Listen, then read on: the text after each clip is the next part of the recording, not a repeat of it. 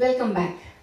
This is the time for our divine service where we are going to be present in the presence of God.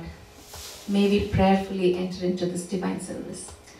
At this time, Praise Life will be conducted by Lowry Team, Bangalore.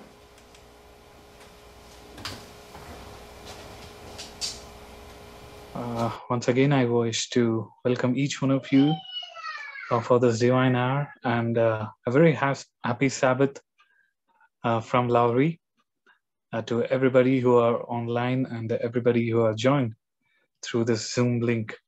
And as we begin, let us sing Trust and Obey 590 from the SDA hymnal Trust and Obey.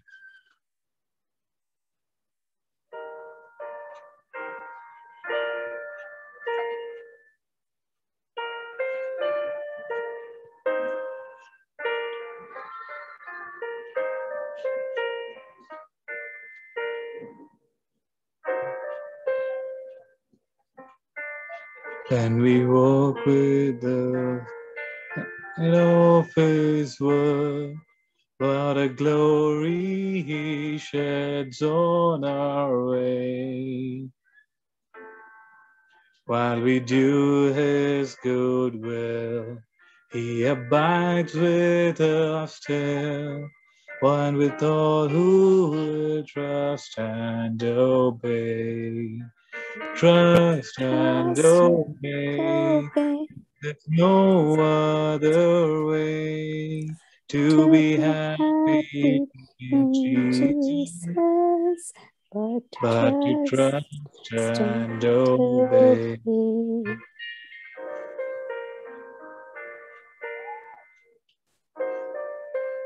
Not a shadow can rise, not a cloud in the sky, but a smile quickly drives it away.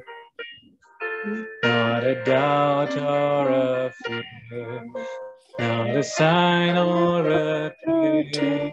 And abide while we trust and obey. Trust and obey, for there's no other way to be happy in Jesus, but to trust and obey. if all oceans we, we will sit at His feet, or we'll walk by His side in the way.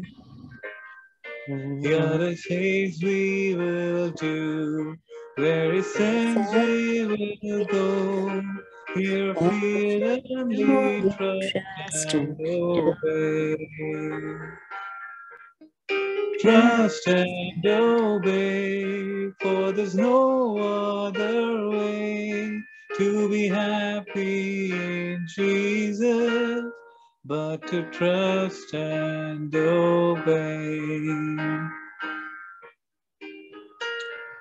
For the next song, we'll sing I Must Tell Jesus 485 from the hymn book 485 I Must Tell Jesus.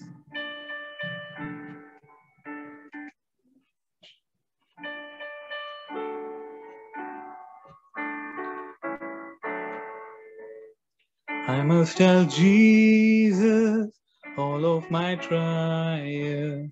I cannot bear these burdens alone. In all my distress, He will help me. He ever loves me, cares for His own. I must tell Jesus, I must tell Jesus. I cannot bear my burdens alone. Must tell Jesus, I must tell Jesus. Jesus can help me, Jesus alone. I must tell Jesus all of my troubles. He is a kind, compassionate friend. If I but ask him, he will deliver. And in my grief with he will mend. I must tell Jesus, I must tell Jesus, I cannot bear my burdens alone. I must tell Jesus, I must tell Jesus, Jesus can help me, Jesus alone. In pit and trial, I need great Savior, who can help my burdens to bear. I must tell Jesus, I must tell Jesus, He all my cares and sorrows will share. I must tell Jesus, I must tell Jesus, I cannot bear my burdens alone. I must tell Jesus, I must tell Jesus, Jesus can help me, Jesus alone. Oh, what a world to evil allows me. Oh, how my heart is tempted to sin. I must tell Jesus, evil and able, oh, over the world's the victory won. I must tell Jesus, I must tell Jesus, I cannot bear thy burdens alone. I must tell Jesus, I must tell Jesus, Jesus can help me, Jesus alone. Thank you all for joining us in the praise and word. At this time, the welcome and scripture reading will be brought to us by Gayatri Samson. Gayatri, Good morning and happy Sabbath Church, as well as the online viewer. I like to read a Bible verse, Proverbs chapter 19, verse 21. It goes like this There are many devices in a man's heart, nevertheless, the counsel of the Lord that shall stand. So, with this thought, with this verse, I'd like to welcome you all for this divine hour. welcome again.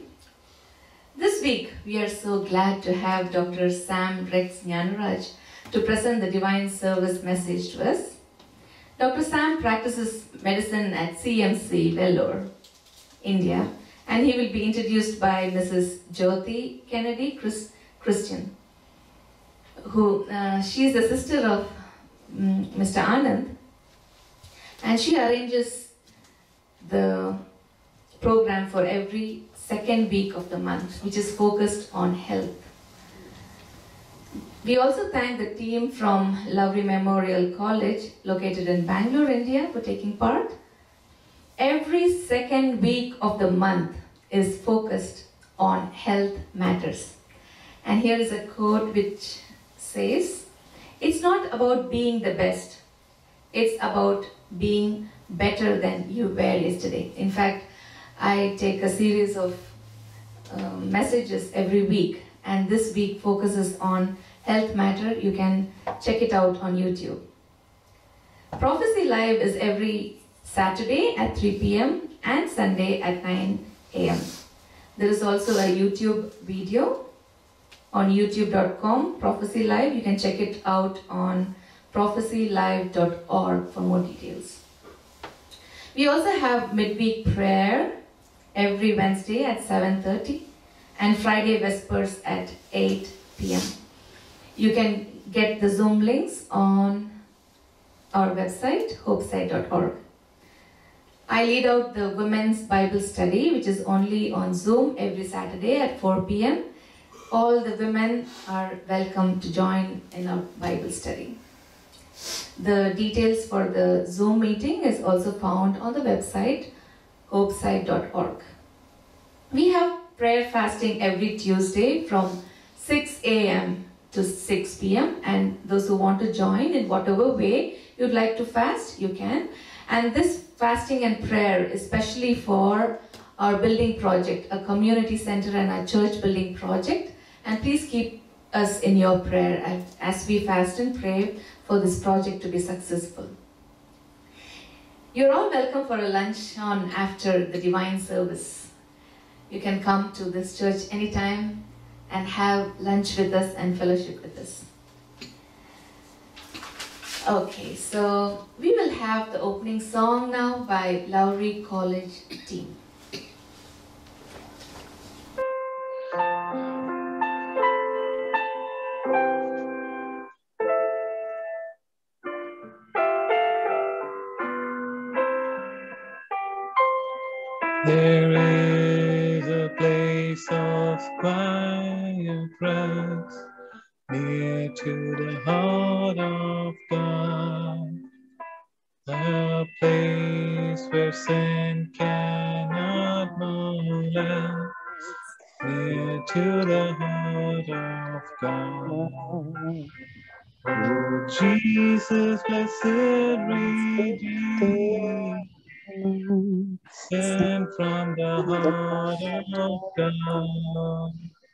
Hold us wait before thee to the heart of God. There is a place of comfort sweet near to the heart of God a place where we are Savior me, to the heart. Oh, Jesus, Redeemer,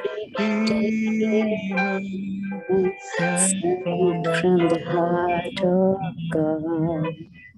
Oh, those who wait before thee There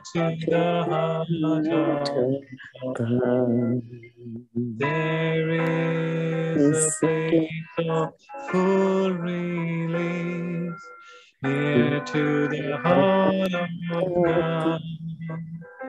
A place where all is joy and peace near to the heart of God. Oh, Jesus, blessed Redeemer, sent from the heart of God.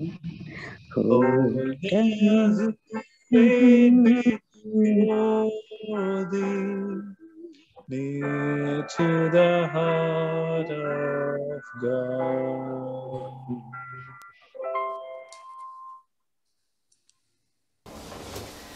Thank you so much for the beautiful song, Near to the Heart of God. This is the time for intercessory prayer, which will be led by Kevin Samuel. Do you have any praise reports or prayer requests? Do you have any prayer requests or praise reports? Yes. Prayer request for all the nurses. We just celebrated Nurses Day and uh, the challenges we face every day at a job.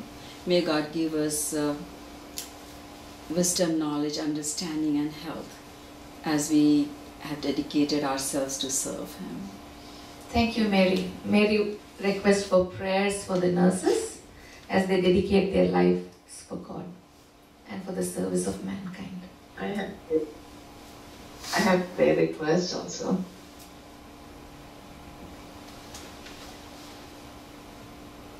Hello?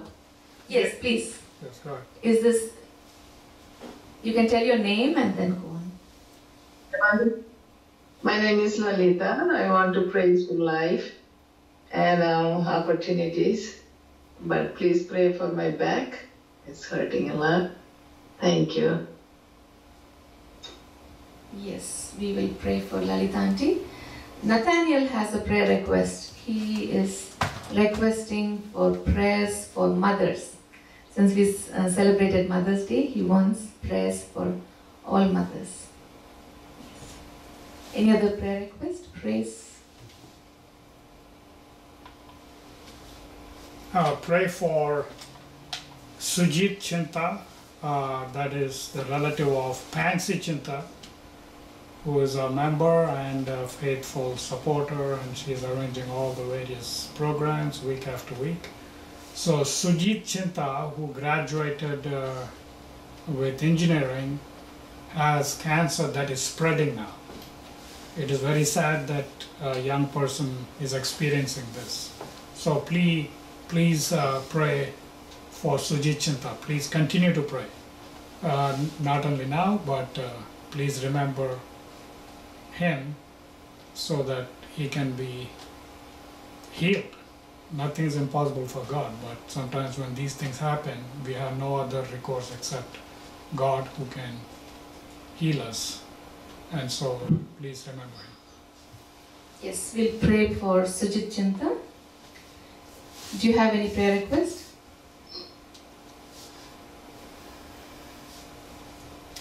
Well, um, I request Kevin Samuel to offer the intercessory, prayer right now. almost Jesus lying Father in heaven. We thank you for this day, dear Jesus, that have given us the privilege to seek thy presence once again, dear Lord. As we gather here in this prayer, uh, as we gather here for this uh, in the Sabbath morning, Lord, uh, please be with us and guide us, O Lord.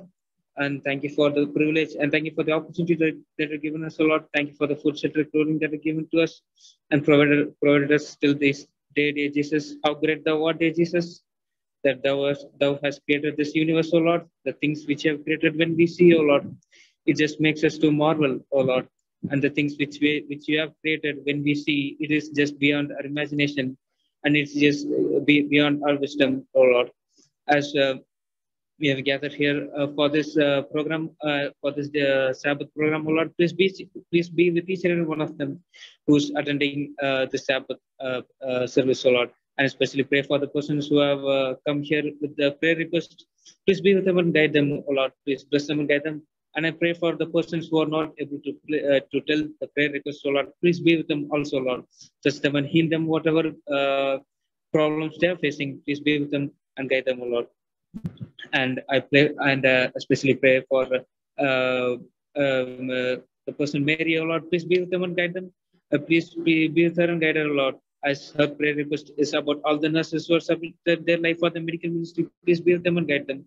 Please give them good wisdom, give them wisdom, knowledge from the above, and uh, bless them with good health and immunity power, O Lord. So wherever they go, whatever they do, when they do the, uh, the work uh, for you, dear Jesus, please be with them and guide them. Give them good strength, O Lord. Give them wisdom, knowledge, bless their families, bless, bless them and guide them, O God. And I especially pray for uh, uh, Lalita, uh, the person Lalita, dear Jesus, please be with them, uh, be with her and guide her, O Lord, as she is suffering from back pain. Please touch her and heal her, O Lord. Uh, as uh, for you, dear Jesus, nothing is impossible. Uh, with you, dear Jesus, you can do what, whatever, what, anything in this world, Jesus. Please do a miracle in her life, so she she would she would not suffer from that back pain, so she will be healed and glorify the name by telling others that you have healed her, O Lord. And uh, once again, I submit uh, Sujit, Sujit, uh, the ma'am Sujitra, Jesus, please be with her and guide her. As, as is in this young age, she's uh, suffering from cancer, O Lord. Please be with her and guide her. Um, please be and guide her, so, uh, guide her, Lord. So this disease won't spread uh, in her body, so she will be healed soon and she will glorify the name of Lord. Please bless her and guide her and especially pray for this uh, church, uh, this church, Jesus, for the construction. Please be with them, please be with them and guide them. So the funds be raised. So uh, soon this church will be uh, be built and uh, people will gather there and glorify the name of Lord. Once again, I submit all the requests which uh, which they are not able to tell and the request which I missed, O Lord. Please be with all the persons, O Lord. Please be with the persons who are weary and the persons who are not able to attend the Sabbath service uh, and so many problems which just uh, not uh, not giving them the opportunity to worship the name of Lord. Please be with all those people and just uh, change the situations in the in their homes, oh Lord. So they will just see you and glorify the name and know that you are the real creator of them, and let them know that you are the real creator and glorify the name of Lord. I submit each and one of them who are uh, ma- uh, making their and upholding each and one of the things uh, to make this uh, Sabbath service uh, happen, oh Lord. Please be with them and guide them. Bless each and every one of them. Bless, bless each and every one of the families uh, who is attending the Sabbath service. Bless each and every one of them, Lord. As if you mercies in Jesus' precious name. Amen. Amen. Thank you, Kevin Samuel. May God answer all our prayers. This is the time for the offertory. As Christians, you, you would all ag- agree to the statement I'm about to read now. Even if you pay off every debt, build a fully funded emergency fund, invest wisely for retirement, save for children's college, and pay off your house early, you would still be missing the most important personal finance prin- financial principle, which is giving. But just agreeing to the statement is not enough. We should be a zealous giver. So let me tell you a, short story. The man who gave 90%, 90% of his earning, R.G. LeTourneau. He lived from 1888 to 1969. He was a Christian industrialist and he had uh, designed and developed several earth moving equipment. So this person, LeTourneau, he has over 300 inventions and he also had several patents throughout his lifetime. He succeeded financially and he increased his giving. And in the end of his uh, career, he almost gave, he gave 90% of his uh, income. So you may say, I would give 90% too if I was a multi-billionaire. But then this person, he gave, he started giving when he had nothing. And God blessed him more. And in his words, he said, I shovel out the money and God shovels it back. But God has a bigger shovel. So God will bless us more when we give more. Let's pray.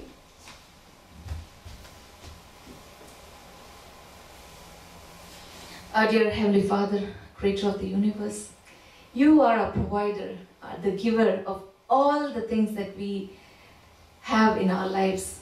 Even though we are not worthy of the blessings, oh Lord, you have given us more than we deserve. At this time, help us to have the spirit of giving. As we have heard the story, oh Father, help us to be like Him, where we can give 20%, 30%, or 90% of our income for the glory of God and to hasten your coming to get your work done in this world. Help us to have a spirit of giving so that we can give, so that we will receive more. Keep us safe in your arms. As we collect the offering, may this money be used for your service. We ask in Jesus' name. Amen.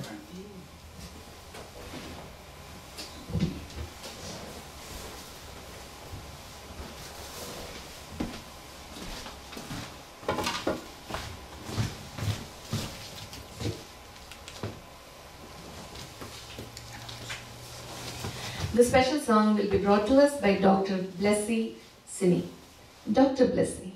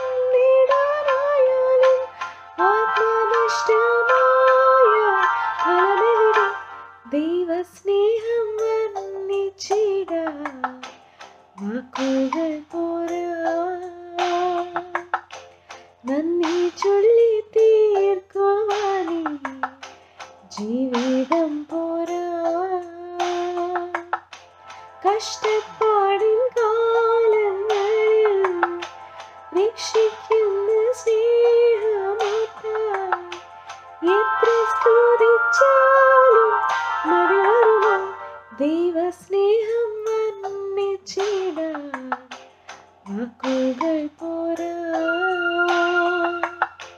நன்னி சொல்லி தீர்க்குவானே ஜீவே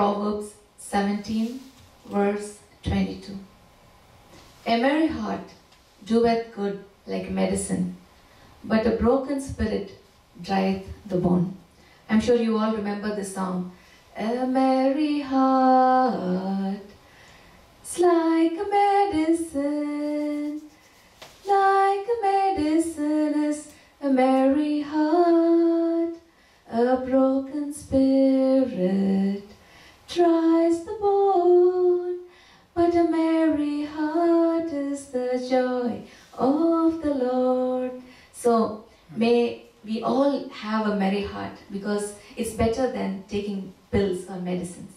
May God bless the scripture that is read now. Our theme song is Near to the Heart of God. It happens that the opening song was also that. Every week we have a different theme song and we are going to repeat this song today.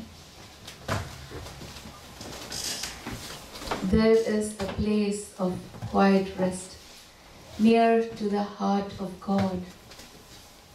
A place where sin cannot molest, near to the heart of God. Isn't this the place we all want to go to?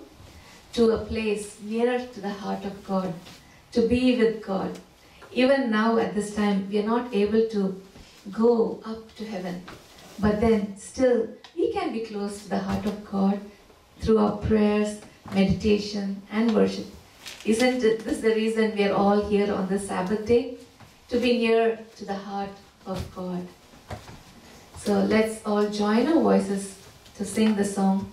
There is a place of quiet rest, near to the heart of God. A place where sin can never molest, near to the heart of God. Let's join our voices, praising God's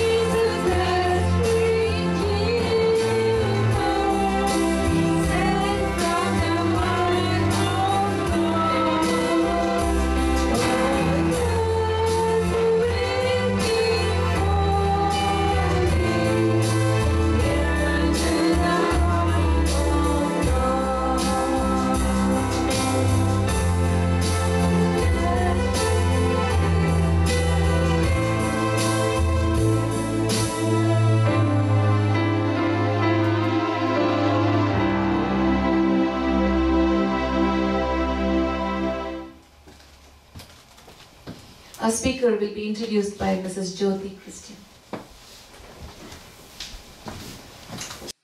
Hello, good morning. Uh, it's always a joy to connect with Hopeside Church, and thank you for the privilege. The speaker for the hour is none other than Dr. Sam Rex Gnanaraj.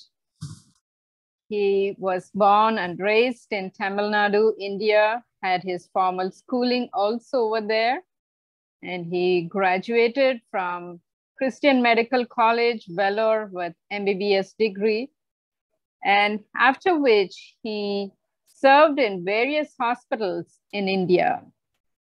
My short acquaintance with him would reveal to you that he is a man indeed of few words, great deeds, humble, down to earth person.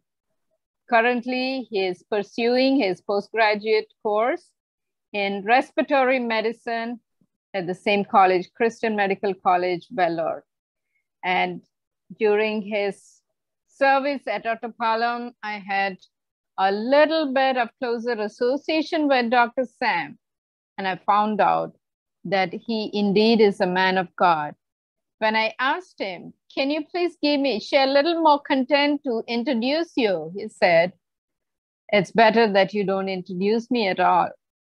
So it tells you that he believes in gospel on shoes, not much to talk about himself other than to say, indeed, a servant of God and a friend to many. His interests are varied.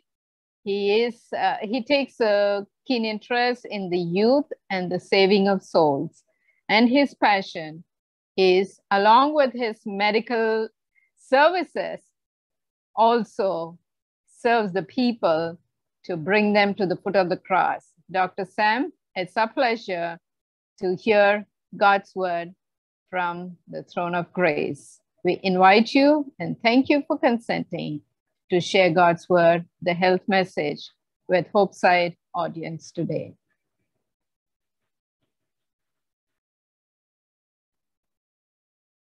Hello, Happy Sabbath Church. Uh, am I audible? Yes, we can hear you. Thank you. Thank you. Uh, thank you for this opportunity. Thank you for the kind words, Shanti. I wish uh, I wish that were actually true. What you whatever you said, uh, then I, I can have some record to stand before heaven. But yeah, I hope I'm working towards that. Hope God will make all of us also worthy of of the name of Jesus, so we can uh, of the sacrifice that is He has bestowed on us. For a message today on uh, on a health topic, I have chosen the topic a merry heart. I would like to like all of you to turn your Bibles to the book of uh, First Samuel, chapter twenty-five. First Samuel, chapter twenty-five is a short story about a man called Nabal. He was living in the time of David. King David was on the run from King Saul. David has not become a king yet, but he has been anointed already, and he is on the run from Saul. Saul is seeking his life to take it, and David spends a few a few months, maybe maybe a couple of years in the in the wilderness of Judah, and right by that side there was a hill. Uh, we all know this Mount Carmel, and there was a rich man over there. He was one of the descendants of Caleb, a very rich man, thousands of sheep. And David and his men, they were right there by him, by the shepherds of Nabal, and they were taking care of him, taking care of the shepherds, taking care of the sheep. Those days, there were lots of danger, lots of harm which can happen. There may be people who, uh, crowds of people who come to pillage and raid.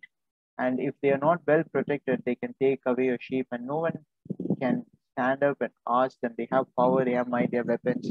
You really can't fight with them. But the presence of David and his 600 men over there was a like a wall of fire, as David later says. And so this has been happening for a few months, and it's time for sheep shearing. Sheep shearing was a great event, a very grand festival because all the all the wool that they get from shearing a sheep and is a great source of income. It's probably the the main source of income for a shepherd those days. And Nabal having thousands of sheep, uh, this was a huge uh, income for him, and everybody's looking forward to that. That's a time of feasting, of joy, of merriment. And Nabal was having a feast in his house when David sends his men to Nabal. He asked them to request for a short for sharing his joy with them also. David has been homeless. David is not a homeless guy. He uh, belongs to Bethlehem, but he is driven from his house. He is unable to go back to his home because Saul is on the lookout for him. And here, David wants to, is longing for, and he and his men are living away from home, away from the pleasures of the common man, away from peace and merriment. And here they, they have someone whom they've been taking care for the last few months. And they wished that they would get something in return for taking care of them for so long. And so David sends his servants, but Nabal was not happy with that. Probably many reasons were involved. Maybe probably Nabal thought, if he had helped David and Saul comes to know about it, then he will have to answer. Saul is not an ordinary person, he's a king. And, and around that time, before that, he had already slain an entire city of priests because they had helped David. And these are all scary things for a normal person. And, and here he decided who not to give, not to help David. And he sends back saying, Who's David that I should do anything to him? When David hears this, he gets angry and uh, and he goes to fight against Nabal, but God prevents David. He uh, helped uh, helped David come to his senses by means of sending Nabal's wife Abigail, a very beautiful and a very reasonable woman who speaks David back into his senses. After this happened, uh, David uh, goes. David goes back. David doesn't vows not to fight against Nabal. He vows to give his vengeance to God's hand. And this is what this is how the Bible records it. The first Samuel chapter 25, verses 37 and 38. What happens to Nabal? Abigail goes back to the house, and Nabal was feasting like a king. And the next morning, Abigail tells Nabal when he wakes up out of his drunkenness that so and so what all happened. That David had come to kill everybody in the household, and uh, he was appeased somehow, and he had gone back. When Nabal heard that, the Bible describes it like this. It says, "He died in his heart," and that is that is very interesting how the Bible puts it. It says, "Nabal died in his heart, and he became like a stone." It was ten days later, not till 10 days later that Nabal actually dies. He actually expires, gives up his spirit, and he's buried. But 10 days before, something, something else happened, which was he died in his heart. The Bible says, the scripture reading which we did for today, it says, a merry heart does good like a medicine. It is possible to die in your heart. It is possible to die in your heart. It is possible to be discouraged, to lose hope, to lose everything that you hold dear. It is possible to live as dead beings, be living corpses, not alive really, just existing. There is a there is a famous quote saying, "To live is the rarest thing. Most people just exist." And yeah, there can be because of many reasons. But here, the Bible talks about a, a very important cause of of disease. It says, when you your heart is discouraged, when you're not cheerful in your heart, that leads to disease. And it goes on to say the antidote, in fact, the medicine for a disease is, is what again? Is a cheerful heart, is a cheerful spirit. If you keep your spirits up, if you engage yourself, engage your mind to think of good things, if you be happy in your heart, the Bible says that itself is a medicine. That itself is a medicine. Many people, many of us, when we get sick, we go to the doctor and we and we seek medicines. We want to get the best medicines. Uh, many many patients come to me and ask, doctor, give me good medicine. Give me best medicine to for the cough. Give me best medicine for the breathing difficulty. Same thing with us. We want the best medicine. The Bible suggests to us one. Says, be happy always. Be cheerful. Paul says, rejoice in the Lord all the time. And he says, again, I say to you, rejoice. You see, there is there can be no greater emphasis on this. Bible is very clear. Be happy, rejoice. And and it tells us how to rejoice, not not just like that, not be happy in pleasuring and partying. That's not what the Bible is saying. It says rejoice in the Lord. We're going to see how we can do that. Here's an interesting quote I want to read for you from Spirit of Prophecy. It says, Sickness of the mind prevails everywhere. Sickness of the mind prevails everywhere. Nine tenths of the diseases from which men suffer have their foundation here. How many? How many? Nine tenths of the diseases from which men suffer have their foundation in the mind. How interesting is that? Imagine think of 10 people who are sick in your mind right now 10 people you know who are sick and and according to this according to the spirit of prophecy around nine of them almost nine of them are because of what happened in the mind first. And that translated into what is happening in the body. You can say, no, these are real physical, these are real physical illnesses. These are real physical illnesses. We have to treat. Yes, I'm not, I'm not denying that. Diseases are real, and real diseases are caused from the mind. The mind is connected to the whole body, and that and that is where the the governing force of the human body stays. The will, the higher the, and the lower power, the appetite, the passion, the reason, the will, everything is is there in your mind. And when it is not balanced properly, when you are when you let go the reins of your heart and it's not properly controlled, everything goes haywire. The body reacts to it by forming diseases. And, and according to Spirit of Prophecy, it's very interesting that out of 10 diseases, nine are caused by, by the mind. How many times yourself have felt that something bad happened to you and you're feeling discouraged and you felt sick the next day? Or something you were de- depressed about something or some you have lost your loved one and then you and then people started falling sick. Many times when we take history from our patients we go deep into history you ask how many days you have been having this problem. And they say you've been having for the last five years doctor. And you talk to them ask them what happened five years ago. Many of them have a story to tell. And interestingly for many of them it's something to do with losing a loved one something to do with failing in something being discouraged, something to do with the mind. Yes, our genes, they predispose us to diseases. They are responsible for most of the diseases man suffer because of what we inherited from our parents.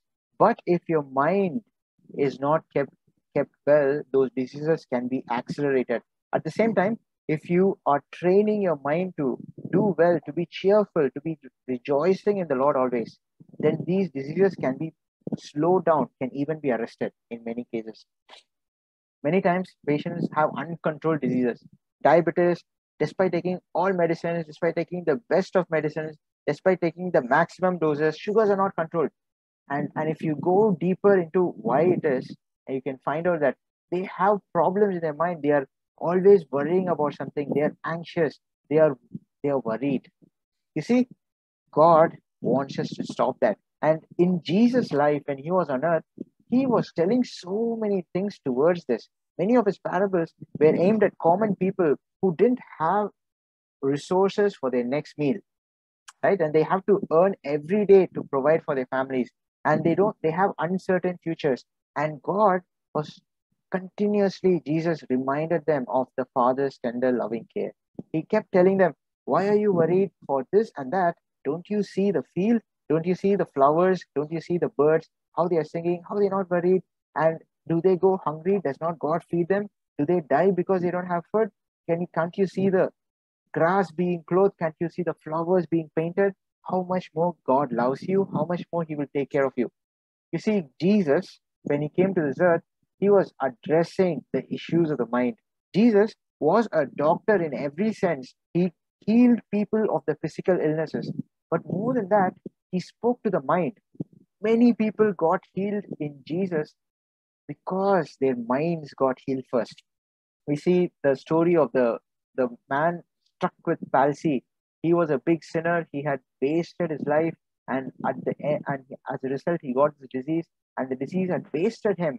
And he went to many doctors, no cure. And finally, his friends bring him to Jesus. We know the story. They make a hole in the roof and they drop this man down from the roof. Jesus looks at him and he says, Son, be cheerful. Did you see that? Did you see that? The foundation to healings comes from the heart, comes from a merry heart. Jesus addresses the first problem there. This man got the disease. You know why? Because of the guilt in his heart. This guilt was not leaving him, it was pressing on him more and more and more, and it crippled him for life. How many of us today have diseases which which are crippling us? And we are seeking medicines, we are trying to cure it with this drug and that drug, we're trying to see what look to meditation, do so many things. But but we are missing out what the Bible, the basic teaching of the Bible. The Lord says, be of a good good cheer. God calls us to rejoice. And he says, when you rejoice, your your heart, your disease can heal. And, and then later he proceeds to heal that heal that patient. The religion of Christ, I'm reading from Spirit of Prophecy again, so far from being the cause of insanity, is one of its most effectual remedies. Did you, did you hear that? The religion of Christ is the most effective remedy of the mind. It is a potent soother of the nerves. Again, what is the religion of Christ? It is the word of God. It is prayer. When you read the Bible, when you spend time with the Bible, that is the medicine. The Bible says in uh, in Psalm, there's a beautiful verse. It says, "He sent His word and healed them." See, many times we think we need to take medicines to be healed, but God says more than that. God's word is more potent to heal us. Is another quote here. In nine cases out of ten, the knowledge of a sin pardoning Savior would make them better both in mind and body. Nine out of ten. Nine, that is 90% of patients who come to hospital are just diseased in their mind and is just showing up in their body. Just think about the implications of that and what that would mean for mean for maybe you also and someone who's who's suffering in your body is like only 10% of the diseases are actually you know is, is beyond your control the 90% of the diseases that people suffer if you just train your mind to be cheerful you can just defeat it. What a promise that is. What a promise that is. And god wants us to know how to do it. And that's what we're going to see today. We're going to see the way to heal uh, heal our diseases to grow close to god. Here's a quote from uh, from bible commentary of life-giving fruit ours through christ the fruit of the tree of life in the garden of eden possessed supernatural virtue. So god created this world. God created so many things in this world. And then he makes a garden for human beings. And in that garden the center of the garden he places a tree. And that tree is called the tree of life. This tree is not an ordinary tree. If you actually think about it this seems to be defying all logic. To eat from the tree means you will live forever. And that power seems to be independent of god himself. Just just just think about it. We all know that life comes comes from god right? Life comes from god. Jesus said john begins like this. In him was life and that life was the light of men. It's life from god that flows to all of us. But here adam and eve have sinned and they are now deserving of death. All right? God does not will for them to live forever in their sinful state. But even in that state they could take a fruit from the tree of life and eat and as a result of that live forever. Just imagine god doesn't want man to live forever but you just go and take a take a fruit and eat and and you can live. And that's the reason that god gives to say that we should stop man from taking of the fruit of this tree it seems as if god endowed this tree with such a supernatural power beyond anything else. This was in, in fact if you read spirit of prophecy this tree of life is christ himself. It's it's the type of christ. Christ is the antitype. This tree is the type of christ. So you see that tree had life-giving power in itself in itself. That god had to stop man from eating it.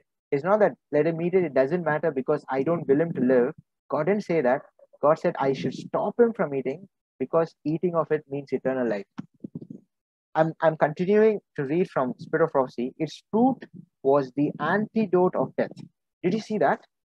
The fruit from the tree of life is antidote to death itself. For a long time man has been in search of elixir elixir of life. And what does it do? It is supposed to give you eternal life. It's something that philosophers and and and researchers and travelers from over the world have been searching. And they knew that something like that exists. And and according to bible it does. It does exist. That antidote is the tree of life, is, is the fruit from the tree of life. Imagine the chemicals, the, the components, the molecules are found there, which can which can prevent death itself. Whatever disease you have, no matter how big it is, can, it may be cancer, it may be AIDS, it may be anything. All the incurable diseases you can think of. This fruit is the antidote of anything. In fact, Jesus, when he came down to earth, he's just distributing the tree of life. He himself is the tree of life, and he's just making people eat of him. He said, I am the bread of life. I've come down from heaven. If you eat of me, you will live forever. Didn't he say that? You see, the leaves of the tree of life are for sustaining of life and immortality. It goes on write, through man's disobedience, death entered the world. Adam ate of the tree of knowledge of good and evil, the fruit of which he had been forbidden to touch. His transgression opened the floodgates of woe upon our race. After the entrance of sin, the heavenly husbandman transplanted the tree of life to the paradise above. God did not leave the tree of life in earth. We know of this. We know this from other writings, from, from other commentators. The tree of life, God placed flaming swords around it that protected and prevented anyone from going into the garden itself. All right. But later, before the flood came, God took the entire tree, entire Garden of Eden, and He transplanted it to heaven. And, and, and the entire garden is there in heaven. The tree of life is there in heaven right now. But see what it says. He transplanted the tree of life to the paradise above, but its branches hang over the wall to the lower world. Do you see that? He is not left us, he's not cut, off, cut, cut us off from eternal life. He is letting the branches hang down lower, lower, lower to reach our earth. And through the redemption purchased by the blood of Christ, we may still eat of its life giving fruit. When we talk about Jesus gives life, when we talk about eating Jesus, Jesus is the tree of life. Eating Him gives us life.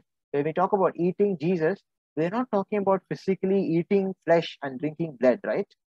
We are talking about a spiritual component here. We are talking about being blessed with the presence of Jesus. We are talking about ingesting his principles and living his life on this earth. And Bible calls that itself as life. Living a holy life, living a life which is reconciled to God, living a life where we are in harmony with God takes away all the conflicts in our mind and gives the greatest peace that our mind can ever know. And that itself is healing to the body. We'll, uh, Jesus said this in uh, the, the Beatitudes. He says, Blessed are they that mourn, for they shall be comforted. And I, I would like to ask you a question today. Why are those who mourn are the only ones comforted?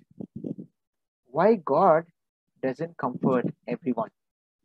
Why does God comfort only those who are crying? Why do you need to weep to have that peace from God that passes all understanding? Jesus said before he left this earth, I give it to you my peace. And this peace is something beyond what the world can understand. Jesus goes on and talk about it. In the world, you will have tribulation. But Jesus says, be of good cheer, be happy. The same word again, be of a cheerful heart because I have overcome the world. You see, the, the joy, the peace that comes from God, that comes from Jesus, is not dependent on your circumstances, is not dependent on your genes, is not dependent on what you have been going through in your life, on what you have gone through. It is independent of all of that. The life that Jesus gives is is, is free and it's independent of whatever is happening around you. And this peace is something that the world cannot explain. And this peace, if it comes to your mind, it calms your soul, it soothes your nerve, it brings your mind to a state of state of cheerfulness, of peace with God, that your whole body can feel its effect. You may be going through a disease, you may be experiencing something, but your mind, if it's healed, you know what will happen? it will translate to healing of your body. Your body healing will follow the healing of the mind. In nine out of 10 cases, that's the case. It's because your mind is diseased that your body is showing symptoms. If your mind is healed, your body will follow suit. How how great is that? And and Jesus goes on to say, Jesus says, you have to mourn to be comforted. The comfort that God gives, the peace that this God gives is not for everyone. It's only for those who are crying, who are weeping, and who are mourning. How interesting is that? How interesting is that? If you're not crying, if you're not weeping, you have not, you're not going to appreciate the peace that you will receive later. You can only appreciate the peace of God, the joy that He gives, the cheerful heart that He gives, if you would, you know what it means to cry, you know what it means to mourn. And here in the Bible, we see so many stories, story after story of people who have gone through trouble, who have wept and have got their answers from God. Imagine you are in the boat with Jesus, all right? You are, say, one of the disciples, and you you are in the boat with all the other disciples, and you're you're following Jesus, and Jesus says teaching, is telling a parable, and you're all and and, and say this. The sea is very calm and quiet, and you're looking to go to the other side and meet more people and spread the kingdom of God. You are so happy, you're so thrilled in your heart, you are so at peace. All right, imagine the peace you would feel in this situation. Now, now imagine another scenario where where you are in the boat with the disciples and Jesus is sleeping. And then what came? A huge storm came out of nowhere.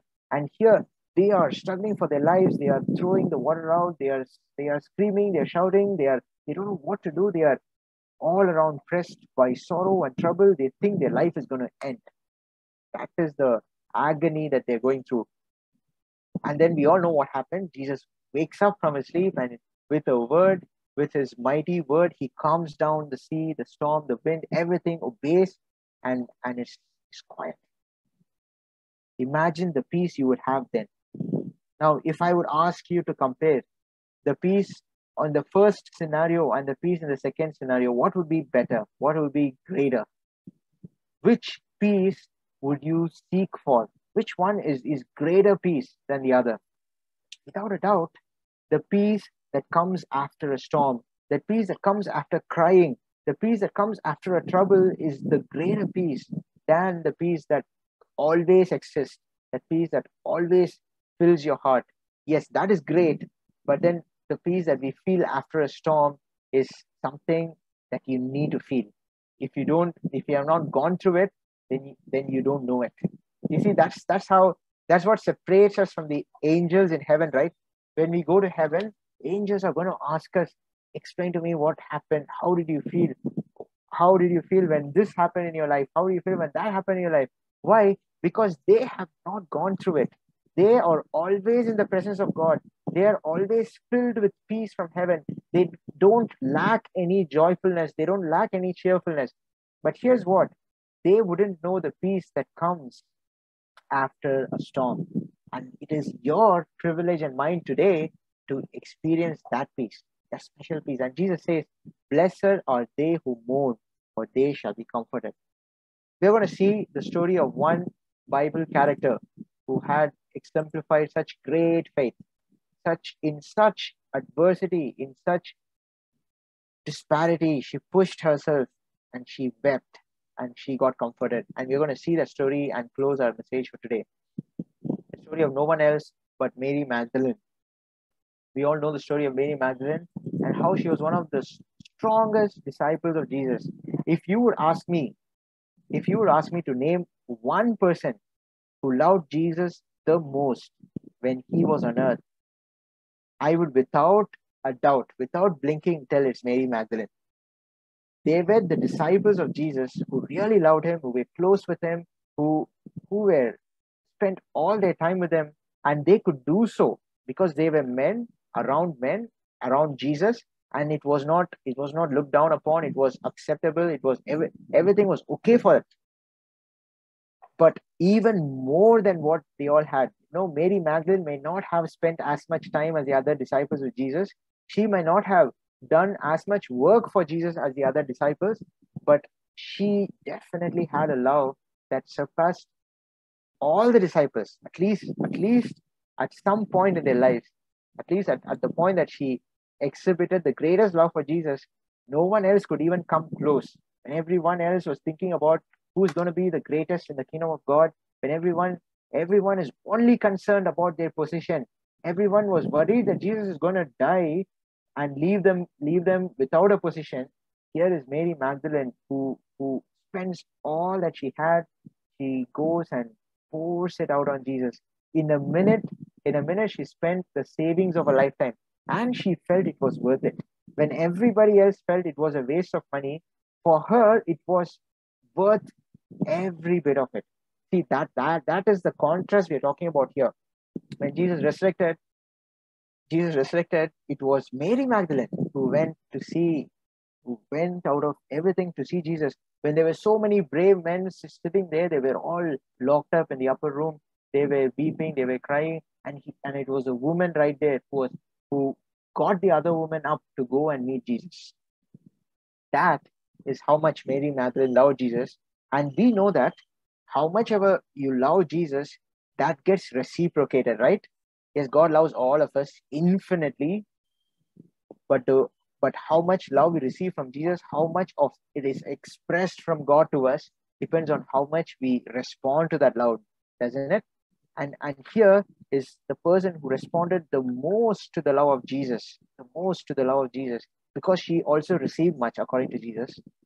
And and and Jesus loved her back the most also from uh we see that in the story of the resurrection go to uh let's go to uh, matthew chapter 28 and here's talking about uh talking about mary magdalene early in the morning and we're gonna we're gonna look at her life and see what is the secret to being comforted what's the secret to get this peace from god that passes all understanding and thus be healed of the diseases in our body.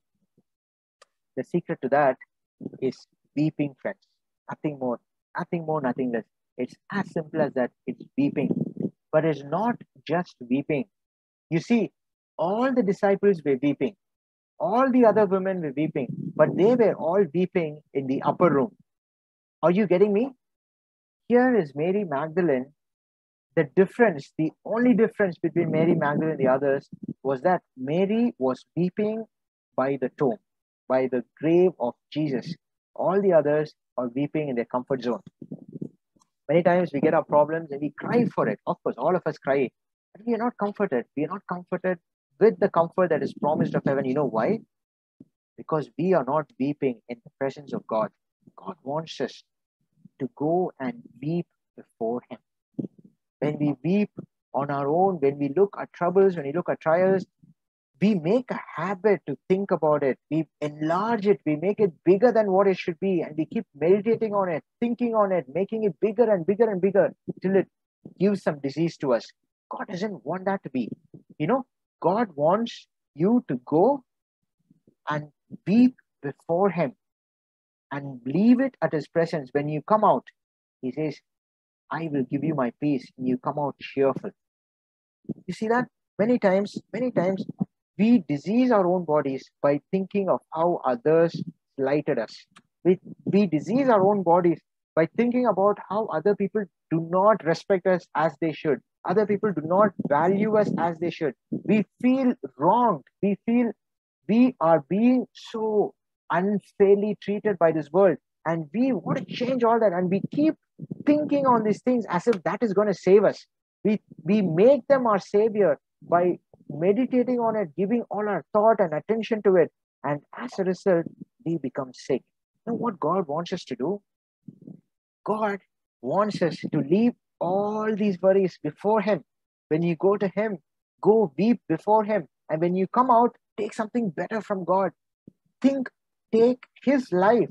When you come out from God's presence, take the life of Jesus and meditate on him. When you feel wronged, think about what how people wrong Jesus, how you wronged Jesus when he was on earth, how you made his life unfair, how you made him made him weep at every step, how you made his life difficult.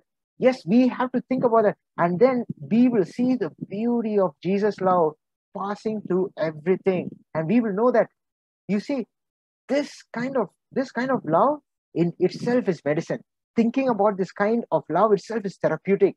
it will heal you of all the diseases in your mind. Of most diseases. Even even if the mind is even if the disease is not from your mind it will at least reduce the intensity of it. It will definitely do that. And and that will be done only when you weep in the presence of god. In fact in fact when mary was weeping before uh we- weep- weeping before the grave the angels come and, and they tell her why are you weeping here? Jesus is not here want you all to notice that. You see mary was was was was in the wrong place. She was not in the right place friends. She was not weeping she was she thought she was weeping in the presence of god. Sincerely she thought it was so but she was not. Jesus is risen. He is not in the grave. The angels are trying to tell mary why are you still here? Go back tell the disciples. No jesus is not here. But jesus and and, and when Je- and the angel said it everyone left. Peter and john they come they see the grave is empty they go back. All the other women come they see the grave and it's empty and they go back to tell the others. But you know who stayed back? Mary stayed back. And that is when she got the perfect peace. You see others got their peace also but that was delayed. But mary's peace was perfect and complete because she stayed there. She stayed there till she got an answer how many of us do this? How many of you how many of you stay in the presence of god till you find your answer? Till you till god forgives you of your sin He- the greatest the greatest activator of disease in our body is the guilt that you have in your mind. And jesus says i will take away that guilt from your heart. I will do it now. I will heal you. You know if you're not even feeling that guilt then something is really wrong with us. We need to go stay in the presence of god till we feel that guilt. And once we feel that god will god will heal us. You see many of us we, we we don't even feel the need to mourn. We don't have anything to mourn for. Why do i have to mourn? That's that's the question we have. But that is not what the bible teaches. The bible teaches for you to be comforted you need to mourn. If you feel i don't have anything to mourn then something is wrong right there. We are sinners friends we are in need of a savior. We are desperately lost. We are wicked. We are hopeless people. We are wicked from our roots up. Even the best thing in your life that you have done to others if you think if, if you break down the motives it is selfishness at the end. Without jesus we are so lost and and we need to weep and ask jesus to come and change us. And jesus jesus has promised to do that if we weep and mourn in his presence. And and that is the greatest remedy that heaven is, is can give us. Greater than any medicine greater than any medicine that your doctor can give. In fact uh, in fact we we have evidence-based medicine. Medicine is changing a lot. Those days those days when patients fell, sick doctor tried giving so many medicines and say some of it worked some of it didn't work. And whatever worked they tried giving for other patients and uh, say it and and then it became an anecdotal stuff. You you get what i'm trying to say? Something like something like each each physician had their own practice all right? Someone would give one drug at this dose someone would give at another dose someone would not even give the drug. And i will say you know this works for me and so i give. That is how medicine used to be. But these days it is taking a big a paradigm shift. Medicine is changing towards evidence based and here we look at everything. We analyze everything with evidence. We see we see for patients with uh, with interstitial lung disease how much does this drug help? Does it really help? Does steroid help? Immunosuppression does it help? And and here we look at uh, we look at the evidence. We look at large trials where thousands of patients are enrolled and we see the evidence. You know you know what? At the end of it do you know what? Most medicines that you get from your doctor have very less evidence very very less evidence. If you actually come into the field you will see that most of the time in fact in fact uh, someone has said this say the duty of the doctor the work that doctor does the physician does is just is just entertain the patient till nature does its own cure. You got a disease you go to the doctor you go to the physician and they just give you some drugs which keeps you entertained. You feel like you're getting something and by the time nature itself is working inside and is making the all the reparative changes and by the end of say a few few days few weeks or whatever your disease was by the end of that time you are healed and you feel the medicine that did that magic for you. In fact it, it is not. Most of the medicine most of the sicknesses that you see in this world today are don't have medicines. It's just you just support to support the patient. You just help the patient get through the difficult time Mm. and then and then the body itself will take care of the rest. That's what we do most of the time. And and deep down any medicine even the strongest medicines okay which have proven which have a proven efficacy have have like very they they the evidence for even the greatest medicines is just is not great. Is really not great. If you look at the percentages if you look at the statistics it is very very limited. That's that's how much it is i'm i'm trying to highlight i'm trying to reiterate the point that we give so much of importance to medicines to drugs and things and we feel these can heal us when god has given us the greatest medicine of all. And he says that is a cheerful heart. Your heart needs to be cheerful. Your heart needs to meditate on something greater than itself not on the things that others have done to you not on the things that not on not on your failures not on your uh, discouragements not on your depressions. No no no no no. Jesus has something much better for you. His own life. He has written four four gospels in the scripture. We can read about it. We can think. We can meditate on it. And that is the greatest medicine that that the world can ever give. Greater than all the medicines any medicine you can come across in in in, in any textbook in the world and we and i hope and pray today that this medicine will be ours that we would learn to use this medicine that we will learn to reach for the tree of life the leaves and the fruit even while we are on earth. Oh let's not wait till we go to heaven. Let's start eating it right on earth and be filled with that eternal life that will flow from the mind to the body and heal your body and go and flow out to others around you and make others cheerful in Christ and, and be a dissipator of life to people around you wherever you are. Let that be our prayer today. Thank you so much. Amen. Thank you, uh, Dr. Sam, for the wonderful message, a healing message about how we can use what God has given already in nature and in other ways so that we can continue to be in the uh, process or in the state of healing because we always will get sick one way or the other. And we look forward to hearing more from you and your team in the future. Dr. Sonia had to leave to give right to her husband, so she'll be back later. Let us have the closing special by Dr. Blessy Sini, an English song. Hope you'll be blessed by it.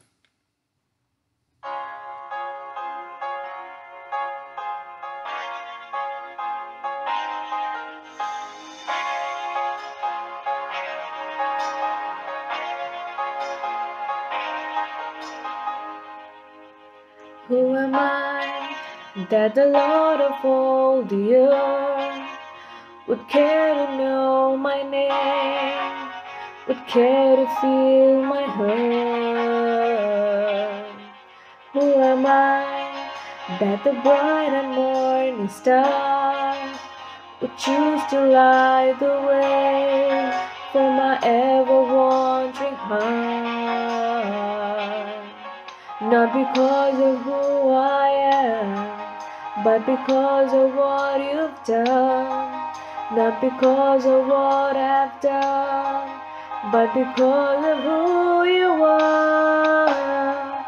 I am a flower quickly fading, here today and gone tomorrow. A wave tossed in the ocean, a vapor in the winds to you. Hear me when I'm calling, Lord, you catch me when I'm falling, and you told me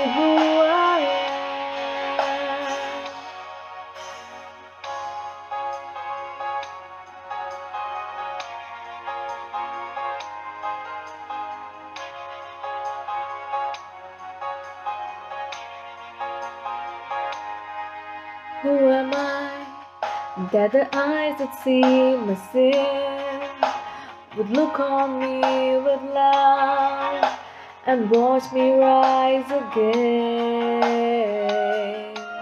Who am I that the voice that come to see would call out through the rain and calm the storm in me?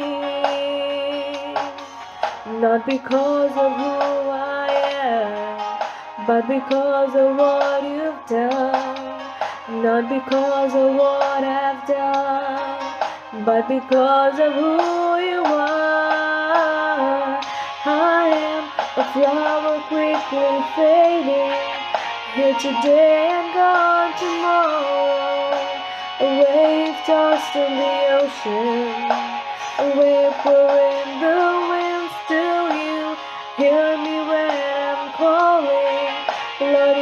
me when I'm falling, and you've told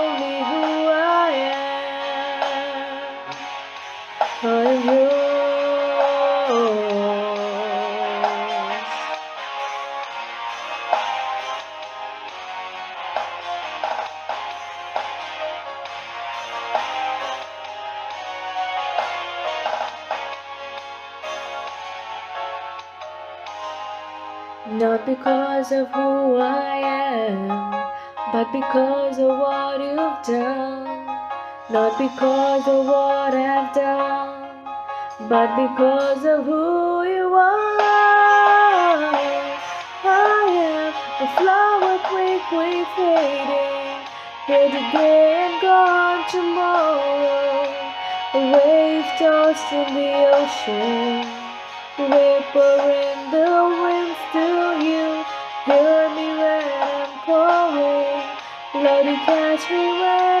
I'm and have told me who I am. I'm yours. I am yours. I am yours.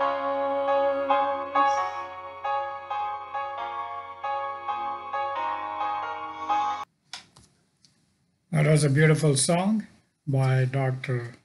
Blessy. The closing prayer will be offered by Mr. Xavier. Thank you for taking part. Happy Sabbath, everyone. Let's bow everyone. Let's. Let's pray. Our most gracious, loving, and living Father in heaven, we thank you for this wonderful Sabbath you have given to us. Dear Lord, and we pray for this. Um, we had a wonderful service through online, dear Lord, and also we pray for the. Uh, we heard a wonderful message from the speaker, Mr. Sam. Help us to take this these words in our heart to follow in our life, and also we pray for the members who will attend to this these services through online and uh, other ways. Please be with them, guide them, and protect them, and also give good health and well. Dear Lord, let us fill with your spirit. I ask in Jesus' precious name. Amen. Amen. Thank you all for joining and taking part, especially the Lowry College team. We have been blessed by the message, music, and uh, other uh, sharing of uh, messages during the Sabbath school time.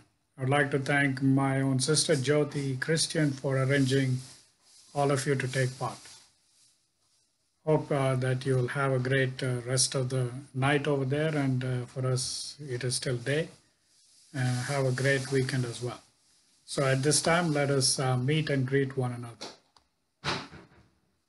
May I have a word with uh, all the participants of today's program?